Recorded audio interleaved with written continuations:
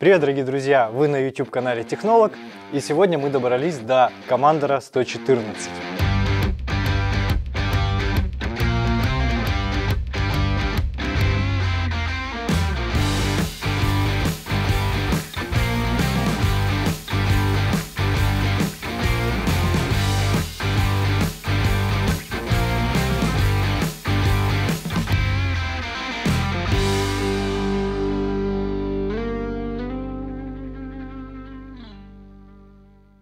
Сейчас мы в ангаре, потому что, как и положено на авиационных обзорах, на улице идет дождь. На данном самолете у нас э, стоит силовая установка Lycoming 540.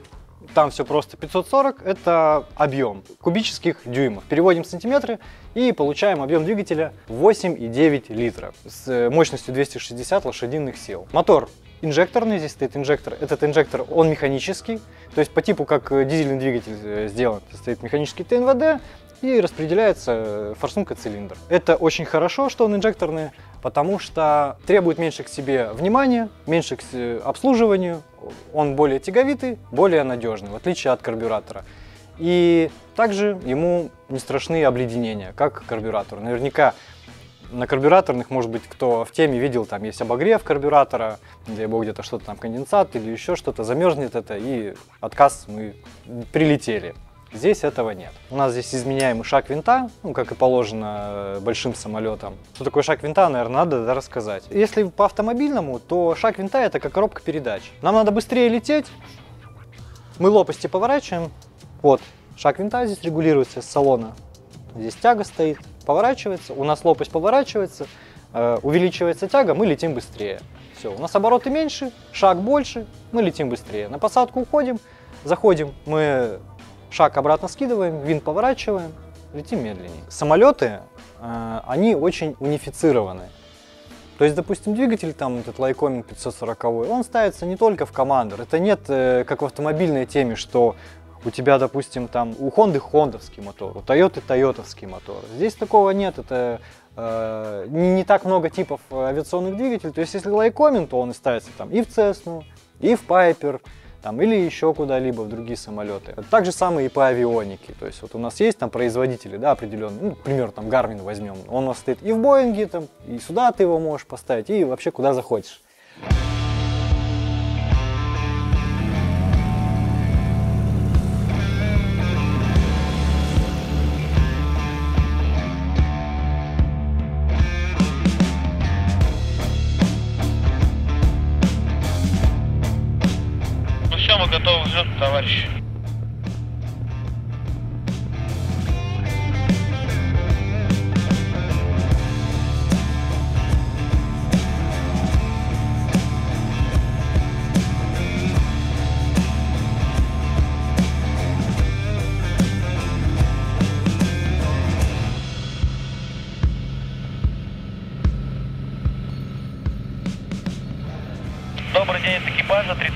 3737 Гольф, взлет произвел Поповка. Поработана точка, э, высота 300 и взлет произвели в 49 минуту 3137 Гольф. Добрался спустя два года до игрушки, и тут, а давай автопилот тестить. Здесь же, ну, здесь же нет автомата тяги. То есть каким образом он скорость будет? Тримирует? И ты сидишь на автопилоте, постоянно тримируешь? Нет, автопилот должен сам тримировать. Вот когда я на 70 эшелон ухожу, ну, в принципе, на 100 эшелон ухожу, то я просто один раз потримировал, все, он прямо летит. Хорошо, а если погода фиговая, э, он же все равно у тебя будет либо ускоряться, либо замедляться. Как он без автомата тягивает? Здесь же да. просто трехосевой. Автомат, блядь, на руке у тебя. Короче, такой полуавтопилот, чтобы тебе не совсем скучно было, ты сидишь и ну, да. работаешь на Да нет, на самом деле мы когда выставляемся, мы в карты играем, я даже не смотрю. Ну вообще просто ну, на 3000 метров, как правило, там, блядь, нормально погода. Ты просто над всеми конью летишь сейчас. Просто пробил и все, и ты наверху летишь. Ну там, да, спокойно. Закрылки гидравлические управляются, стоит также гидравлический насос, вся система подключена. Значит, по управлению у нас э, элероны и руль направления, руль высоты у нас э, трассовые идут, закрылки у нас гидравлические и э, электронный триммер есть. У него не такая, конечно, планерность, как, допустим, у той же самой Cessna. Это не должен быть первый самолет. Это вот, наверное, ты уже полетал, ты уже там все попробовал. э, это, наверное, третий, четвертый самолет. Он хорошо рулится, он хорошо управляется, он понятный этот самолет, но он все равно сложный. Это не должен быть первый самолет. Этот самолет любит скорость. И вот, э, допустим, если сравнивать с той же самой Цесной, конечно, что нельзя сравнивать, потому что это э, абсолютно разный тип самолетов. Он постоянно пытается свалиться, то есть ему всегда нужна скорость. Если, допустим, на той же самой Цесне мы заходим на посадку, мы руды убираем, газ, руд, газ. Мы руд убираем, подбираем, да, и пытаемся все время гасить скорость, то даже здесь, э, заходя на посадку, мы всегда идем на газу, то есть мы всегда даем, добавляем ему, потому что как только мы убираем, он сразу у нас останавливается и начинает падать. Этот самолет, которому нужен экипаж. То есть, если мы собрались э, лететь куда-то, к примеру, там на отдых или по делам, то с собой нужно брать человека, или, допустим, если есть у тебя такой человек, с которым ты летаешь постоянно, его нужно обучать тому, чтобы он тоже умел владеть этим самолетом. А, у него достаточно большой инструментарий э, в распоряжении, так как это инструментальный самолет. Э, и он требует, несмотря даже на свою там простоту э, в управлении, предсказуемость, он требует большое количество внимания. Поэтому желательно всегда с собой, если там собрался куда-то, да, э, там, взял там, Саша сказал, Саша, и вот взял, сели и летаем. И объясняешь, объясняешь, объясняешь, чтобы второй человек тоже умел эксплуатировать этот самолет.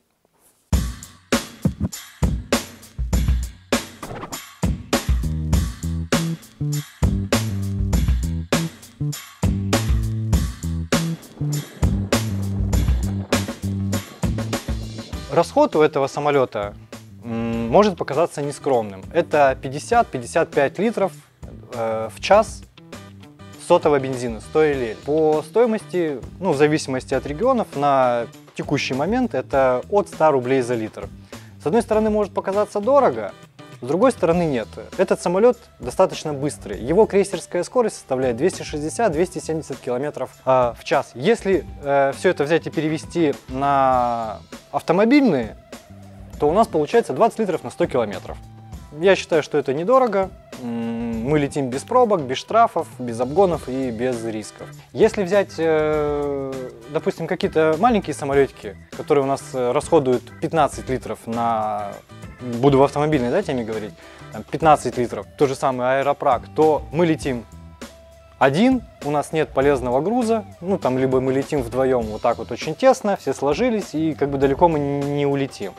Поэтому здесь мы загрузились четвером, загрузились семьей, закинули полный багаж, там, сумки, вещи и полетели. То есть этот самолет, он очень хорош для путешествий но при этом он имеет очень короткие баки. То есть запас хода у него небольшой, это где-то 600-700 километров. Поэтому вот наш владелец самолета поставил себе дополнительный бак, чтобы увеличить рейндж. Так как самолет магистральный для дальних перелетов, соответственно, можно, есть способ сэкономить. А, мы забираемся на эшелон повыше, а, беднимся, то есть где-то на 100-120 эшелон забираемся, беднимся по максимуму, летим крейсер там у нас скорость как бы будет повыше, то есть мы, я думаю, что на бедной смеси можем лететь 260-270 крейсерной, если на эшелоне повыше. Вот, и можно добиться на автопилоте расхода где-то в 45-47 литров. Живет как из себя 100 или 14 час э, галлонов. На взлете было там что-то в районе 30, по тридцатку заходило. Может быть. Но сейчас 14 нормально, в принципе, 50 литров в час. Сейчас бы шли бы на 600 эшелоне, при такой же скорости было бы 10. Ну, он просто пи***ном там Саша довел бы до 8. Да нет, ты можешь до 8 довести, но скорость будет меньше. И по отношению Я к понимаю. скорости будет тот же самый расход. Ты будешь чуть дольше лететь, но чуть Меньше экономичнее. я понимаю. Хорошо, возьмем с тобой Москва-Питер. Мы долетим примерно за 3 часа. Палим 150, очень грубо, 150 литров бензина. У нас нет камер, у нас нет пробок. Мы потратим 15 тысяч рублей. 4 человека. Плюс груз. Я думаю, что это недорого, чтобы скинуться всем и очень быстро добраться. Ну, понятно, что да, мы еще отдадим за прием и выпуск за, за аэропорт, но я думаю, индивидуальность и комфорт стоит тех денег, чтобы там переплатить э, чуть больше и долететь на своем собственном самолете. А еще надо учитывать, что часто ждешь в аэропорту. Час ждешь в аэропорту, да. И смотри, можно ездить на автобусе, правильно, но люди все равно покупают автомобили.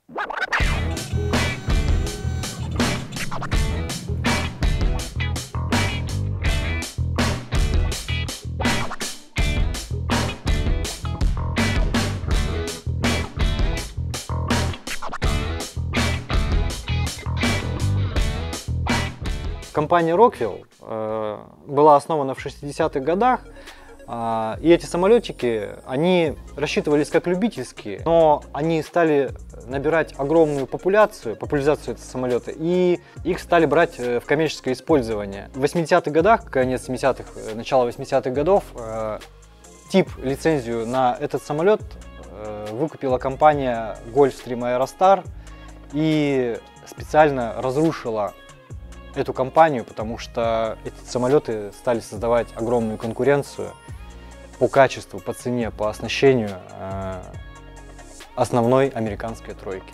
И поэтому какие-то запчасти, то есть которые не унифицированы, которые принадлежат именно этому самолету, ну вот, к примеру, там, лобовое стекло, если, допустим, не дай бог, повредилось, э, там, или крыло пришло в негодность, там, по каким-то причинам, там, птичка попала, зацепили что-то, уже будет проблемно отремонтировать или купить эту запчасть. Придется ее заказывать. То есть ее будут изготавливать на заказ. Еще этот самолет очень полюбился людям, которые перевозили белый порошок. Тает морозная свежесть. И всего за одну поездку окупить этот самолет.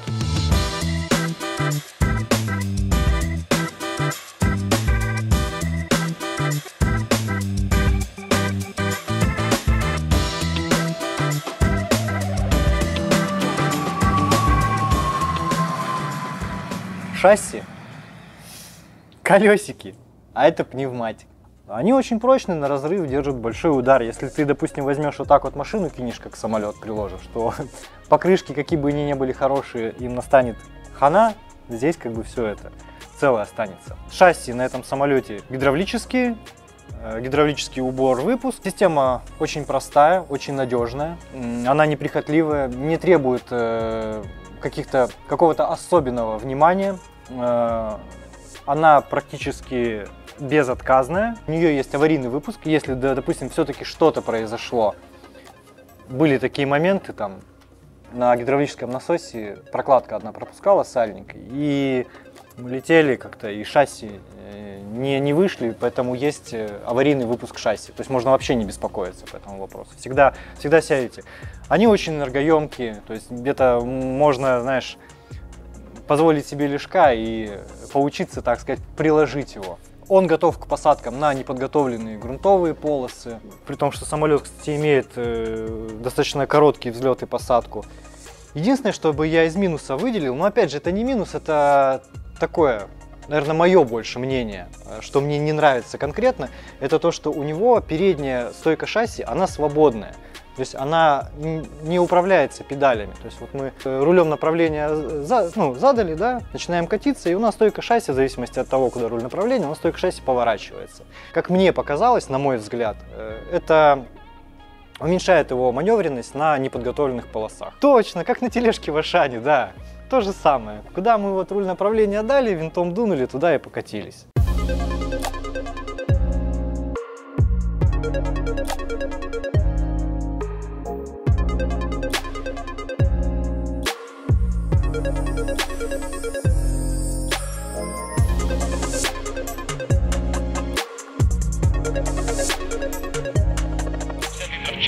О, расскажи мне, знаешь, Саша, самое народное у нас, собственно, 172, да, э, какие сравнения, ощущения у тебя между пилотированием Cessna, ты пилотировал сон, и, допустим, командором? Не, ну здесь-то прям совсем по самолетному, как Боинг.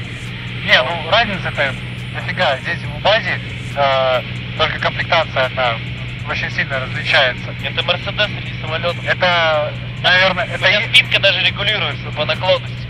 Короче, Если чужок.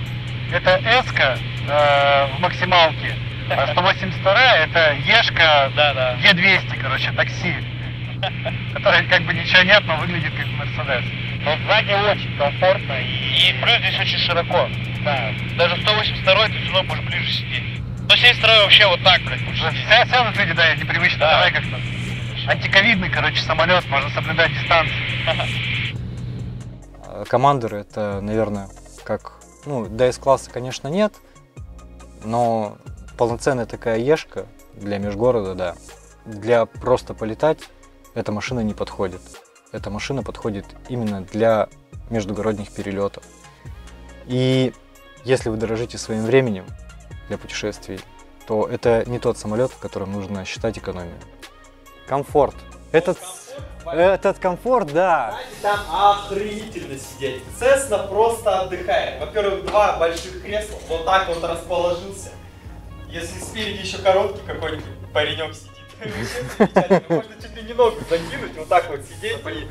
Нормально. Да, да, да. А если у- есть в команде короткий паренек, то в багажном отделении он разместится с абсолютнейшим комфортом.